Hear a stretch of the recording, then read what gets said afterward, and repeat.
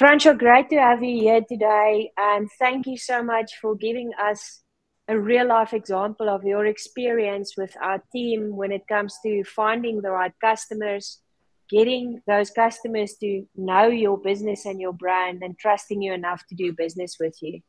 So, I'd like to kick off with a couple of questions. Can you just explain very briefly who you are and what you do at your business, please? Afternoon, Dalian. Thank you for the opportunity to share some of our success stories with uh, with you and your team. So I'm the CEO of Securitas Financial Group. We're a financial services company, got a nationwide footprint. Our head office is based here in the Boardwalk in Pretoria, and uh, we service a whole range of financial services for the South African communities. We specialize in all the disciplines. We've got specialist advisors in each discipline, um, and we are, as I said, a nationwide business. Thank you so much. And Francois, you've got a a long-standing corporate career and also a business career. I believe you've worked for more than 15 years in a corporate company and now you head up Securitas. Is that correct? Yes, Dalian, I came from Momentum. I had a 15-year career there. Uh, started fresh out of varsity with them and, uh, and went through the ranks. And then the opportunity to join Securitas came up last year, early last year, and uh, myself and Fani, the CEO, were in long discussions about it. And I really saw the potential of joining a business like Securitas and assisting this business to take it to the next level and make it future fit whilst building on the legacy that Fani and team has built over years. Excellent, and uh, and uh, your experience is just is so suitable, and we can see the difference that you are making at Securitas Financial Group. So congratulations with this and how you're leading your team. Thank you, Dalian. You're welcome. So, a couple of questions from our side because we'd like to share this with other other businesses who are looking for a fit in a company to assist them to moving from moving their brand from invisible to becoming brand of choice in the industry.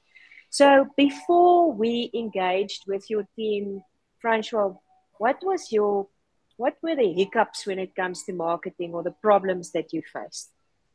Then I think the biggest challenge for any business is understanding that a marketing strategy should supplement and drive your business strategy.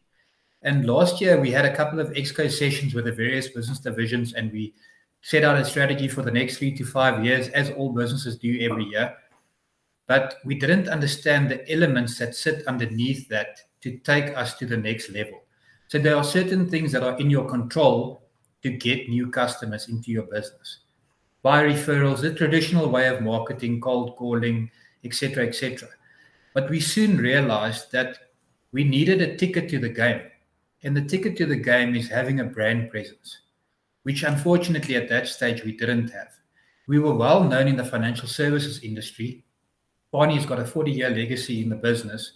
Everyone knows who Fani Wasserman is in the insurance industry, but everyone didn't know who Securitas was.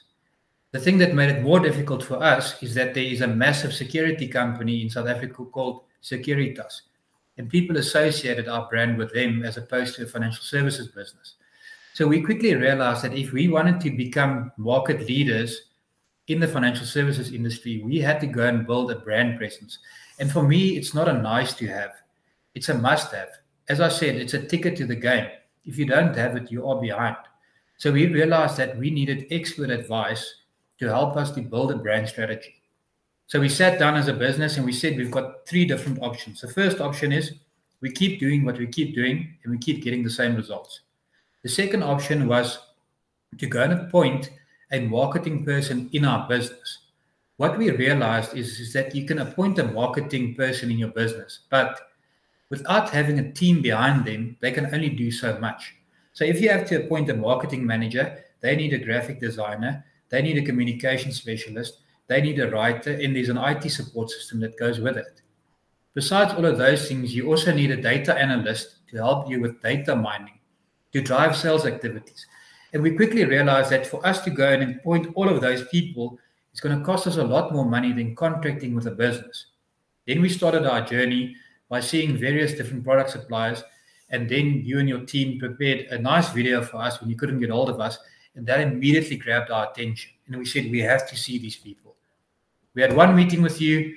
The CEO was down from George, up from George The day after, you made yourself available. We met with you and your team, and we signed the deal a week later. Fantastic, Francois. Thank you. And and I think what's so important here is the fit, the fit with the company that you that you work with for your brand is so important because that trust has to be there. So I really appreciate that feedback.